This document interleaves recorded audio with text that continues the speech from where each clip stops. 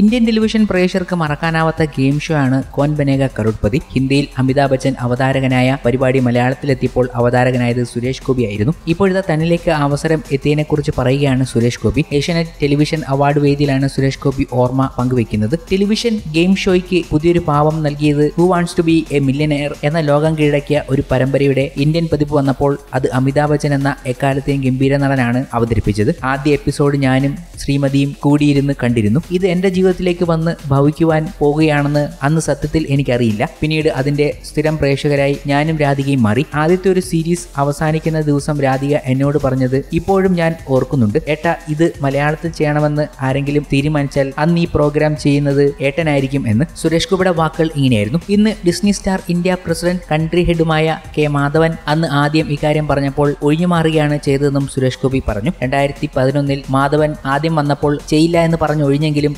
മോഹൻലാലാണ് മാധവനോട് പറഞ്ഞത് ഇത് ചെയ്യാൻ അവൻ ഒരുത്തനേ ഉള്ളൂ എന്ന്. അവൻ തന്നെയാണ് ഇത് ചെയ്യേണ്ടതെന്ന് മോഹൻലാൽ പറഞ്ഞതിന്റെ പശ്ചാത്തലത്തിൽ അതിന് ആദരവ് പകർന്നുകൊണ്ടാണ് ഞാൻ കോൻ ബനേക കരുട്പതിയുടെ മലയാളം പതിപ്പ് നിങ്ങൾക്ക് മകാൻ കോടീശ്വരൻ എന്ന കരാറിൽ ഞാൻ ഒപ്പിടുന്നത്. സുരേഷ് ഗോപി പറഞ്ഞ് അവസാനിപ്പിക്കുന്ന വാക്കുകൾ ഇങ്ങനെയായിരുന്നു. ഇന്ന് അതേ മോഹൻലാലാണ് ഏഷ്യാനെറ്റിലെ ബിഗ് ബോസ് പരിപാടി ഹോസ്റ്റ് ചെയ്യുന്നത്. അവതാരകനായി മോഹൻലാൽ എത്തുമ്പോൾ നിരവധി സീസണുകൾ കഴിഞ്ഞു. അടുത്ത സീസണിൽ മോഹൻലാൽ അവതാരകനാകാൻ സാധ്യതയില്ല എന്നുള്ള റിപ്പോർട്ടുകൾ നേരത്തെ തന്നെ പുറത്തു വന്നിട്ടുണ്ട്. എന്നാൽ ഇത് ഉറപ്പിക്കാറായിട്ടില്ല. പക്ഷേ എന്നിരുന്നാലും പ്രേക്ഷകരെല്ലാം വിരൽ ചൂണ്ടിയത് സുരേഷ് ഗോപിയിലേക്കായിരുന്നു. സുരേഷ് ഗോപി എം പി ആയതുകൊണ്ട് ഇനി അവതരിപ്പിക്കത്തില്ല എന്ന് തന്നെ പറയാം. പക്ഷേ എല്ലാവർക്കും സുരേഷ് ഗോപി അവതാരകനായി എത്തണം എന്നതായിരുന്നു ആഗ്രഹം. കാരണം കോൻ ബനേക കരുട്പതി എന്ന ഷോയുടെ മലയാളം പതിപ്പ് സുരേഷ് ഗോപി അവതരിപ്പിച്ച് അത്ര വലിയ ജനശ്രദ്ധ നേടിയിരുന്നു. സുരേഷ് ഗോപി ബിഗ് ബോസ് മലയാളത്തിൽ അവതാരകനായി എത്തണമെന്ന് പറഞ്ഞതും അതുകൊണ്ട് തന്നെയാണ്. പക്ഷേ അതിനൊക്കെ വഴിവെച്ചു കൊടുത്തത് മോഹൻലാലാണെന്ന് കേട്ടപ്പോൾ ശരിക്കും അതിശയിച്ചു പോയി സുരേഷ് ഗോപി തന്നെ അത് വ്യക്തമാക്കിയതും കൗതുകരമായി മാറി.